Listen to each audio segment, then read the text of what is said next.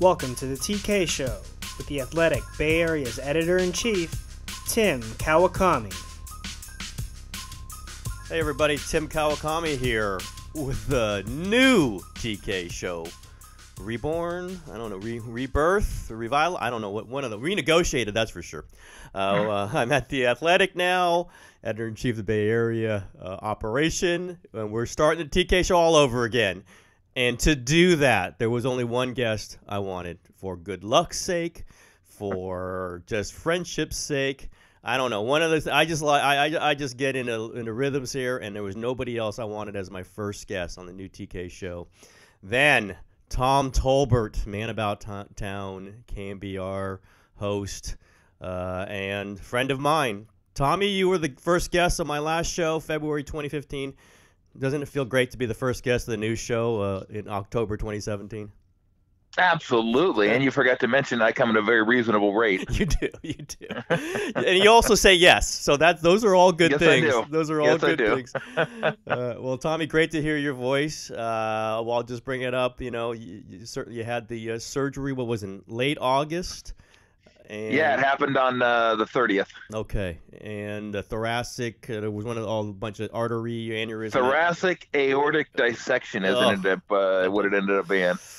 Well, I, Yeah. I, I know you've talked about it a lot, though. Just what was that experience as you look back on it now? I mean, do you just say that uh, it's yeah, it was. Uh, well, I mean, no, not I mean, not really. I mean, it just, you know, I, I got home the thirtieth like I do just you know every other night, and I sit down and watch TV with the family a little bit, and then they go upstairs, and I watch. You know, I have games that I tape, and I watch some games on TV, and I was sitting there. And it was probably around nine, nine thirty, somewhere around there. I remember it not being too late because I thought Lori would probably still uh, be up, uh, which she wasn't. But uh, so I just I, I started having pain. The first pain I had was in my uh, temples, both Mm. temples simultaneously, and I had pain in my my temples, which I which I thought was kind of odd. And then that went away a little bit, and then I had both I had pain in both my shoulder blades, which I thought was really odd. And then I had pain in my upper chest, lower throat. And I said, okay, the, anytime you start talking about the chest, you start thinking heart attack and what's going on. So I got on my phone and checked that out. And they said, you know, if you're having a heart attack, it's to feel like a fist, this clenched fist. And it didn't feel like that. So I was just like, God, what could this be? So actually, I probably spent not a long period of time, but about 15 minutes in various positions on the ground, in the chair, uh, you know, uh, knees on the ground, chest on the couch, just trying to figure out what the heck was going on and if there was a position that could alleviate the pain. There wasn't, so I went upstairs and laid down and she had, in fact, my wife had gone to bed and I laid down next to her. She had just gone to bed. She's like, "What are you doing up here? You don't come to bed till later." And I go, "I just, I, I got a weird, you know, weird feeling. I just, I'm having these pains and those pains. And I just, they just nothing I've ever felt before." And she said, "Well, we should probably go to the hospital then." Mm. And I said, "Okay." You know, I didn't even fight it. They, most times I'd say I don't go to the hospital, but but this time was, it was just different. So I went there and they uh, ran some tests on me over at Alameda. I was there for probably, I don't know, hour, hour and a half, and the the pain was not severe, but it wasn't light. I mean, my shoulder blades were really killing me, which was was Hmm. odd. And so they ran tests, and they came back and they said, "We're taking you down to Stanford, Hmm. so or UCSF." So it's really just kind of what who could get you. I mean, who who could have a doctor there uh, quickest, and who could admit you. And so it ended up being Stanford, and they brought an ambulance there, and they flew down there. And the one thing I do remember that cracked me up. I mean, I, I didn't know it at the time that every minute was kind of was a little critical. I would hope. I would think so. Yeah. Yes. the guy driving the ambulance. I mean, Stanford's a little bit of a zoo down there, like trying to figure out like yeah. what building you're at, and they Oh, have man. construction down there, and the guys the Oh, guy's like, oh. "Is this the building?" He goes, Oh. "I thought this was the building." I'm, oh, laying. I'm laying there in the back thinking, "Yeah, we, we maybe like hurry this up just a just a tad bit." So uh, yeah, they found it. They take me and. Boom! Next thing I know, I'm on the, you know, I'm in a room with a bunch of doctors and uh, getting on a table, and and and then then then that was the, you know, then then the hard part became my, obviously my my wife Lori and my my kids because they're having to Yeah. grind through four hours of of surgery, and then I wake up and Uh, yeah, I mean, it was, you know, I didn't find out until later that, you know, every time you tell somebody, you know, what you have, they're like, you know, I don't, I can't tell you how many people have come to me and goes, wow, like you were, you're, you're lucky to be alive. Like yeah, people don't survive those things. Those things are like, and I'm like, well, you're probably overstating it a little bit. And come to find out, I don't want to know what the percentages are, but as I've as I've grown fond of saying, I go the thoracic aortic uh, dissection diet is fantastic. I'm dropping weight like you wouldn't believe. I go, unfortunately, side effects are death. I go, if you make it through that, yeah. you're gonna be, it's gonna be great. Yep. I go, the side effects are rough. So I made it through that, and uh, had to have a few procedures uh, after that because uh, one of the things the dissection did, and those that don't know, you have like three walls in your aorta, and, and a dissection is when one of the walls pulls away from the other wall, and the blood gets in between the the walls, and it just, just becomes kind of a mess after that. So, uh, no, I mean, I couldn't have been in a better place, and I couldn't have had better better doctors. But it's interesting because you see, you know, the bumper stickers and T-shirts and that kind of stuff. Uh, live every day like it's your last, or you never know, or all this and all that stuff. Basically, is bumper sticker stuff. But when I look at them, I go, well, I go, yeah, it is. But I go, now that I've been through this, uh, through this ordeal, and uh, I, I look at things a little bit differently. And again, for me, people ask me how it was. I go, well, you know what? I ask Lori, ask my kids because they're the ones that had to, you know, had to, like I said, grind through the. Mm-hmm not just the four hours of surgery, but the three hours or four hours before that when I was over at Alameda. So uh, it's just, I was talking to Lori today. I'm like, God, I go, I see these people like, you know, it, it's funny because I'll be watching a game and they'll be at the ballpark and there's this dude who's like, you know, way overweight and he's, mm. he's crushing a soda and popcorn and, and, and I'm just like, hey, what, happened? Like mm. I, I was, I played in the NBA, you know, I was, I was, I was, I was a pretty good athlete at one point. I'm still in decent shape, not in great shape, mm-hmm. and and the one thing I got out of it was you just never know because yep. the doctor told me he goes, you know what? He goes, we could have scanned you two days before it happened, and we may not have seen anything. Wow. And I go, well, I go, well, there you go. So I guess some things are just gonna, you know, there's some things you just you can't you can't stop. They're just gonna happen one way or the other. I mean, my dad had issues with his uh, aorta, so obviously mm-hmm. it's uh, genetic. But no, I mean, it just it was it was a little scary, and I'm I'm back to getting back to getting back. Uh, you know, I've been been at work for uh, about a week and a half now, so it's just you know you want to get back to doing normal things, getting out and walking and going and seeing movies and doing stuff with the family and stuff like that. But uh, it's funny another another saying people use all the time puts things in perspective is just kind of a throwaway saying, but mm-hmm like when you actually go through something yeah. like this, it does put things in perspective. Yeah. It's all it's all perspective then, right? It's, it's all, all, perspective. all perspective. There's none of that little stuff. It's all perspective. It is absolutely. Yeah. Well, I mean, you, you're such a good-natured guy, and obviously, we it just comes through on the radio. But I, we all who, who know you that this is the way you look at life. You're you look, at, look at life kind of through a quirky view and, and you, you enjoy things and you find the funny things in it. But was there a time when you weren't in that mood during this recovery period? Uh, not really. I mean, there there was one time uh, it, because I try to.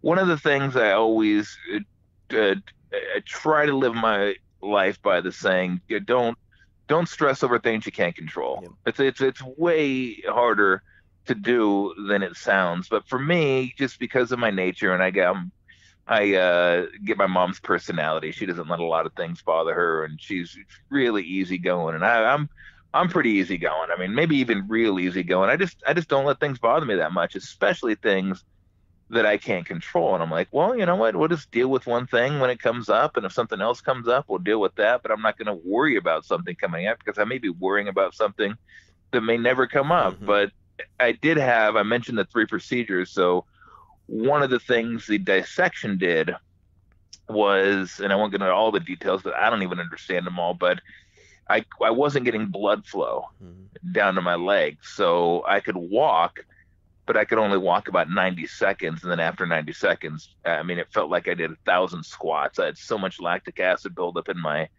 in my glutes and my hamstrings. I just couldn't go anymore. So I had to sit down. And then after four or five minutes, I could do it again, but I couldn't get any better. So we did a procedure, didn't work. Another procedure, didn't work. And then the final procedure, you know, he told my doctor told me, he goes, look, this is all I got for you. He goes, I just, he goes, this should, this should work. He goes, but we're just trying to do little baby steps here because we don't want to be any more invasive than we have to be. So the last one was a little more invasive because I have cuts on my right above my groin, but Mm. it's not not as invasive as as what was coming next. he told me if that didn't work, he goes, we got to go back to major surgery. He goes, we're gonna have to go back there, replace the part. He goes, then for sure you'll have blood flow in your legs, but you'll be in the hospital for a week. You're gonna have to go through what you went through the first time, and that that was that was the only part where I broke down a little bit. I was like, God, I just can't. I mean, I will because I have to, and you just you know you just go to Stanford and you do it day by day, and Uh, but at that one I was thinking, jeez, I mean that that'll be two major surgeries, three procedures, all in all in five weeks. So I mean that that that hurt me a little bit. Mm-hmm. And then uh, when I had the the procedure, that one was a little more, like I said, a little more invasive than the other two. So it took a little longer. I thought I'd get up and walk right away because that's what it was supposed to be with the other two. But my quads were really hurting me. So I was like, oh man, I, I mean, I couldn't make it from the street to the house. I mean, I had to like have somebody help me get to the house. And I'm thinking, geez, this is like, I mean, this is way worse than it was. And they're like, just give it time, give it time. And they were like, the only reason we're letting you go home because we know you don't want to stay in the hospital any longer. So they go, usually we would we'd probably have you here, but you're in good spirits and good health, so we're gonna let you go home. So I woke up the next morning and I walked and the quad pain was like gone, so I could like walk a little bit. I still had a little pain in my in my uh in my hamstrings, but I just man, I just sit there and cried for like Yeah. three minutes. I mean, f- I mean, I was so happy. I'm like, oh my gosh. I go, is this? Because that's all I wanted. I go, just put me on a path where I know I'm, I'm, I'm you know, I, I'm getting a little bit better. Like I can walk a little bit further. Like today, I walked a mile and a half. Yesterday, I walked a, a little over a mile. The day before that was like eight tenths of a mile. So I mean, I just wanted to get a little bit better and feel like, okay, my legs are getting a little bit better. And I just, when I woke up in the morning and the quad pain was gone, I was like, man, I just, I, and then later on that evening, my, you know, my, my hamstring pain was gone. And then the next morning I got up and walked and I was only able to go four laps around the kitchen and I went like 15 and I was so happy. Mhm. I was like, oh my gosh, you know, my, I'm getting blood flow to my legs. I'm able to walk a little bit now. And it was interesting, uh, cause I talked to, uh, Steve, Steve Kerr, and just for like about a week or three weeks, two, it was about two or three weeks, I go, man, I don't know how, you know, you do it without knowing exactly what's coming next Yeah. because that was that was, you know, I got a taste of what he's been going through for two years, and I went through it for three weeks, and it's like, and it's almost helpless because you don't know. You think you know, like you think, okay, like I was pretty sure they're gonna figure this out at some point. They will. They just got to figure out exactly how to get it. But there's a part of you that thinks, well, what if they don't? What if Yeah. they can't? You know, what if there's they keep thinking we got it and they don't have it, and then you got to go do something else and they don't have it, and then all of a sudden you're like a month in, three months in, six months in, and I'm like, I dealt with this for like three weeks, and Steve's been dealing with this for like two years, Yeah. where it's like, and it's not even, you know, mine was. Uh, I mean, compared to his, really straightforward. Okay, here's what we have to do. This is what we got. We just got to figure out how to do it. His isn't straightforward at all, and it's like you know, people. I don't think people really understand what he has to deal with on a day-to-day basis. I mean, he doesn't want to talk about it. I get it. He he he loves the people that that you know give him well wishes. He appreciates all of it, but he just wants to have you know he just wants to have his life back to where he can go play golf and he can do the things he wants to wants to do. And people see him on the sidelines and talking in the media, and they think, oh, he's getting better. Well, better is a relative term, and for him, better is just kind of piecing together a a day. So uh, it gave me a little bit of an understanding of uh, you know what what he has to deal with on a not just day to day basis, but week to week basis, and and and you wonder is this you know I think you always I mean, we talked about keeping positive thoughts all the time. I mean he's great at that, but there are times where things creep into your head like is this going to get better at some point? Like I know it's going to, I feel like it's going to, but until it does, you just don't know. Yeah, I just I was wondering about that. It's, you know, is there a commiseration with Steve? Could, can, you know, is there just something where you guys have gone through so much together, uh, and you you probably at one, at one point you both probably figure you're invulnerable. You know, you, you're you're athletes. You're you're at the top of your you know Yeah. your game, and you know you're not old. Steve's not old. I'm about the same age. I'm not old. Yeah. Uh, just, and, you know, I, am not asking you to reveal any private conversations, but just there's that something. Now, okay, you know, this is an interesting stage you guys are together in, involved in right here. Well, I told them. I said, I, I go, I actually, I go, I actually made sure, or, or, or, or, I go, I don't know how I did it, but I tried to do it and it worked. Gave myself the thoracic aortic uh, dissection. I go because you told me well, you didn't tell me, but I know that you're tight. You don't want people asking you how you are. So I knew if I had this, you would ask me how I am. And then as soon as you asked me how I am, then you couldn't tell me I couldn't ask you how how you were. So there was about a month period where you know we'd talk all the time, and he'd asking me how I was, and I go, "All right, you're opening the door. How you doing?" well, that is that so, is a great sacrifice you made for the conversation. Well, you know, that's yeah. what I do. You know, I'm, I'm a man of the people. I'm just unwilling to go that far, and that just tells you how much greater a human being than you, you are than I. Oh, sure. uh, well, come up with better stories. There you go. There you go. I mean, I mean, uh, one thing my buddies who listen to you ask me, and I'm sure many people ask you do you have to change your lifestyle? I mean, you're you're a beer drinker. You, we, we we know what you like to do. You like to watch yep. games and drink beer. I mean, does that yep. have to, uh, is that changing now? Beer, no sodium, Tim. Wow. No sodium wow. in beer, so that was a fist pumper. Yep, yep that's good. Uh, I, although I did tell my doctor because my doctor was always telling me, he goes uh, seven, he goes seven ten beers a week. seven ten beers a week is good. Seven to ten, you can have seven to ten beers a week. Yeah. I go, can I have them all on Saturday? He goes, absolutely not. I go, what about four on Saturday and three on Sunday? He goes, he goes, you're pushing it a little bit. He goes, I'm really looking for kind of one a night type deal. And it's funny because people know that I love, I love beer, especially uh, craft beer. But I, I, think people would probably be surprised even before this. I mean, I've had three beers since the uh, the uh, the event on the 30th, but I, I I I'm not a guy that came home and had like beer every single night. Like I I would go sometimes I would go a week and a half without having beer, hmm. but there were, you know, days that I like to come home, uh, have a couple beers, certainly days on a Saturday. I mean, I love watching college football. I mean, I could probably run through 10, 12, 14 beers on a, on a Saturday. I won't be doing that again, but no, it's just really for me, two things, sodium in weightlifting. And he said, you can't, he goes, no more weightlifting for you of any kind of heavy weights. He goes, if you want to do like the rubber bands or light weights and stuff like that to get your muscle tone back, he goes, go ahead, knock yourself out. But he said, he goes, you'd be really surprised how much the uh, weightlifting will spike your, spike your blood pressure. And he goes, for you, you just can't, no more heavy weights for you. And then, you know, my brother is all over me now. He's 10 years younger than me. And everything I eat, he's like, oh, too much sodium. Yeah. Too much sodium. We got to get you good. To-. So he's actually coming to town uh, next week. And he's already cooked up like, a, you know, three or four or five different recipes. And he's totally into it. So uh, that's that's basically it. I mean, for me, it's okay. I, am probably not going to be the guy that has like, you know, 1,200 milligrams a day or thing. You know, just, but it's moderation now. It's like I used to we used to have pizza on Fridays here. We, used to call it just Pizza Fridays. You know, I'd stop and get pizza and bring it home on Fridays, and that was our that was our dinner on Friday. But now it's going to be, you know, instead of once a week, it's once a month, mm-hmm. and I'm going to be looking at a lot of different things that maybe I ate uh, that, that had sodium in it. And I don't think, you know, now I look at it, I don't think I, I had a real high sodium diet, but I got to keep track of it now. So it's just for me, it's moderation. It's not you know, trying to kill yourself, uh, no pun intended. It's not trying to be way below where you should be. It's just, you know what? Let's make sure we got moderation, and then I, I check my blood pressure every day, and I'm going to continue to do that. And if I have a problem with it, then I'll, you know, make adjustments after that.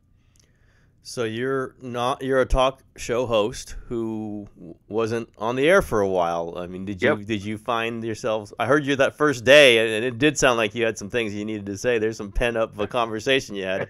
uh, were you running through shows in your head while you're out? Who, and who was the person you're you're you're you're having that conversation with while you're out? God, I don't even remember to be honest. I mean, there are things you're like you want to say them, and that's just the nature of the business, and that's kind of that's kind of who we are. I mean, that, you know, we're we're in sports media, and I mean that's you do what you do, I do what I do. We have opinions on things, and when you see things, you you want to talk about it, you want to write about it, and there, I mean, there were times where I wanted to do it. Uh, I don't know if I had anything in particular that I wanted to wanted to say. I, I've never felt like anything that I say is all that important. So there wasn't a time during the course of the my my rehab at home that I thought, God, I got to get on the air because people need to hear this. Or I really want to talk about this, or I got to do this. I just wanted to get back on the air because that's what I like to do. And I mean, I just want to have, you know, I want to laugh a little bit.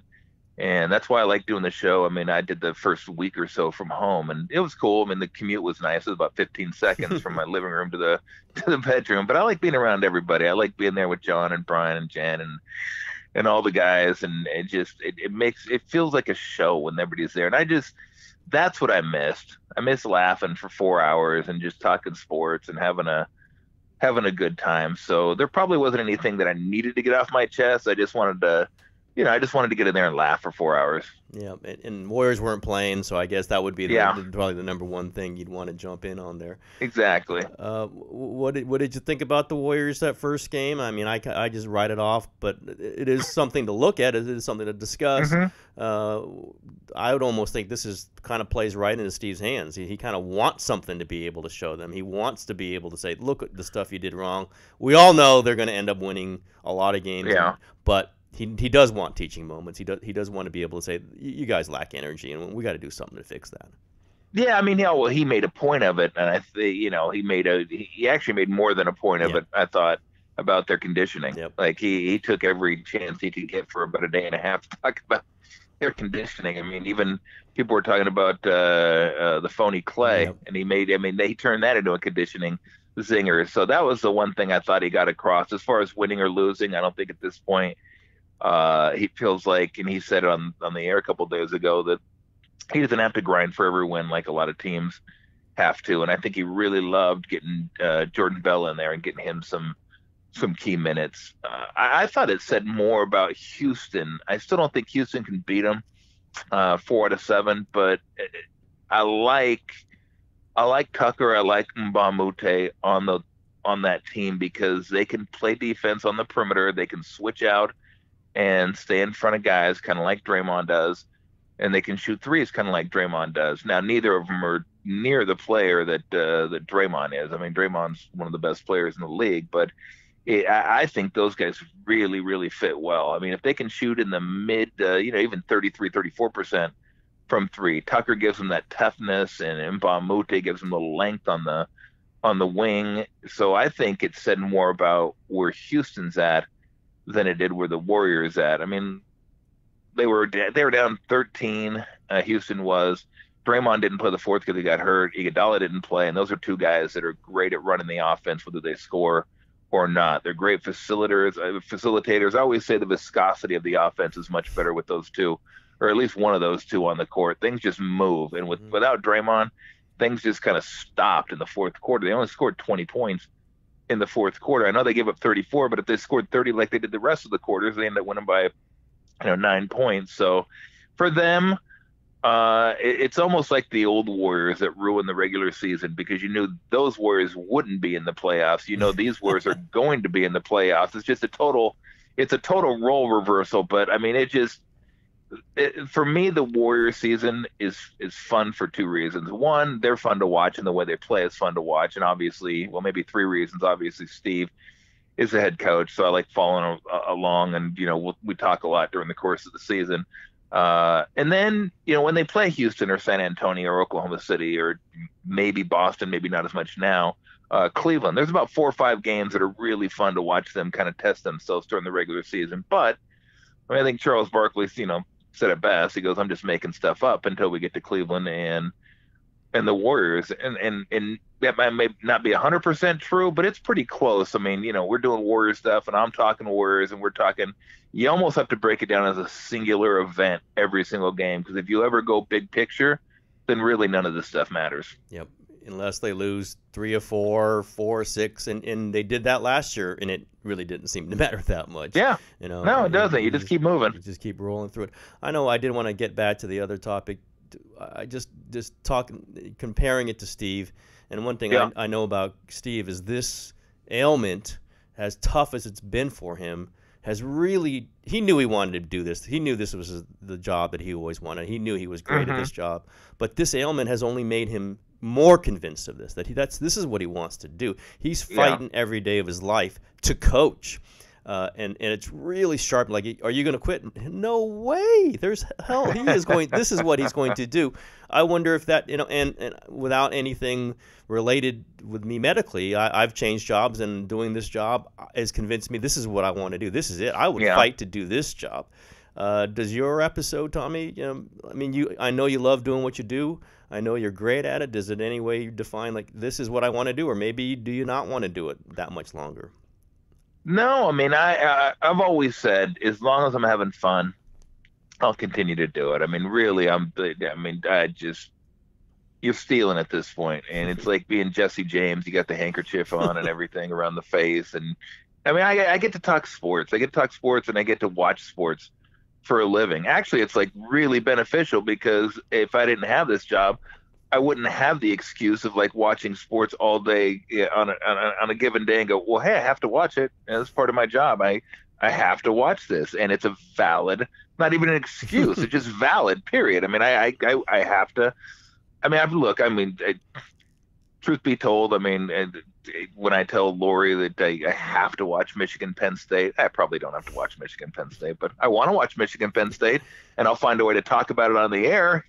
Maybe not for 15 minutes, but I'll talk about it a little bit. I'll, so, I'll, I'll give her. I'll, I'll, give you that one. Maybe those Mountain West games, uh, you might be on the borderline. You're thinking San Diego State, Fresno, maybe not. Yeah, that's eight 7:45 kickoff. Uh, yeah. might, might, be the, might be the one. Yeah, yeah. You, yeah, you might be right. you you might be right. But no, I just I, I never really like after the event. I never really it, reassess things. Okay, where am I in? What do I want to do? And how long do I want to want to do it for? I just want to keep doing it. I mean, I, I have a I have a great time. Uh, I've been able to work with a lot of really fun co-hosts. I mean, people that just want to I mean, just want to come in there and do the same thing I do. I mean, I think everybody knows that you just come in and have fun. I mean, we're not we're not talking to GMs. We're not super serious. We're not solving anything. We're not. I don't. I don't believe that like people in organizations listen to us and go, "Hey, maybe they have a point." Man, that's that's absurd. I mean, I just think, and then I'm not saying they don't listen, but I don't even care. I just I just go in there and I want to talk sports. I mean, I love baseball. I love basketball. I love football. Uh, I love I love talking hockey and watching hockey. I mean, we don't get that much of a push except for playoff time, but I just love watching sports. I mean, I love that it's the it's the greatest reality television going, and, and obviously I played, so you know, and I know a lot of people in different sports, so you know, I understand some more than others, but I have a pretty good grasp on on most sports, including you know some of the mixed martial arts and mm-hmm. boxing I've watched forever. I mean, I just I just I love it. I mean, I love it. It makes me it makes me happy to be able to you know to watch something and then go out there and you know talk about it with a guest or talk about it with John. It's just I mean, it, again, I've always said I want to.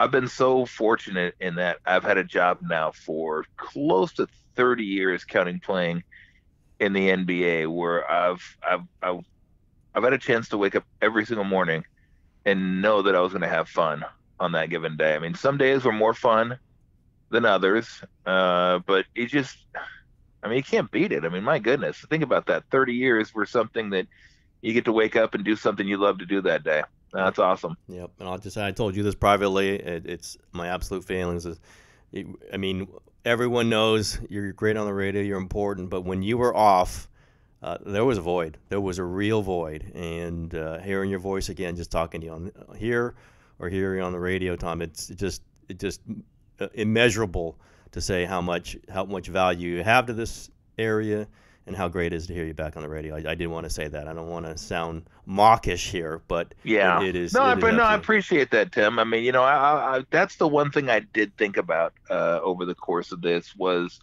you know, when I was coming back, uh, I mean, so many people uh, on Twitter or at the supermarket or just walking around town or I saw somebody at the movies yesterday, just you know, saying we'd love to have you back. And when I get that, that that makes me feel, I mean, really, really happy. I mean, I just, I, that, I never really even thought of this throughout the course of my radio career until, you know, maybe four or five years ago, something like that. But you know, I, I, again, I'm not doing anything. I'm not, I'm not solving anything.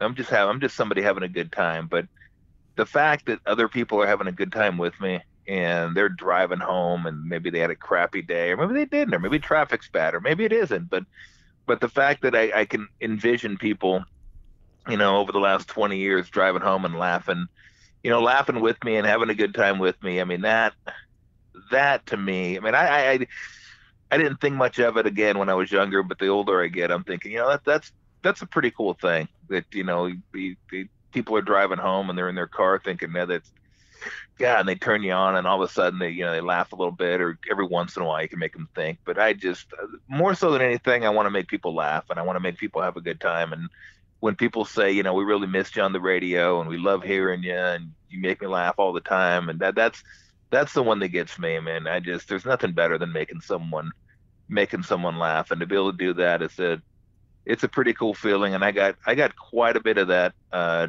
you know, in the last two or three weeks, and I it, you know made me feel really good, and then it made me kind of think, wow, but you know you you are doing something out there that you know isn't super important, but maybe it's you know somewhat important that it helps somebody kind of relieve some stress or you know uh, laugh a little bit on their way home. So I, I don't I don't I don't really take that all that lightly.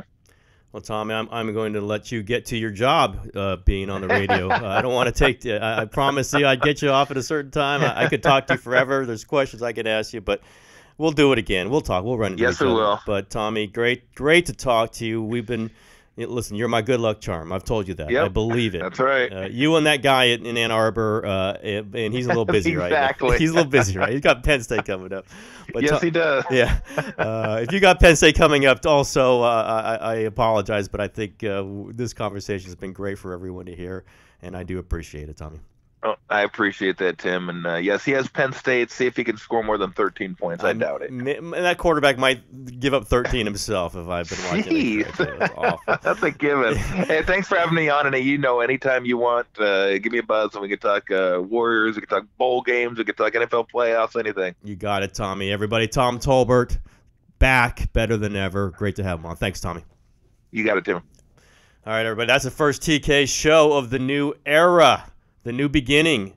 Uh, we'll see how if we get mess it up again. But uh, well, last time was pretty good. This time I think we'll we'll keep going. Might not be as regular as the old TK show. I have another job now, and it's pretty pretty involving. But we will get great guests like the one we just had on. We will do the similar show. I didn't ask Tommy his favorite restaurant. We was running out of time, and thought maybe in the in light of what was happening, maybe things are adjusting. But we'll ask him next time. All right, everybody. Until next time, it's TK Show. Tim Kawakami. Thanks.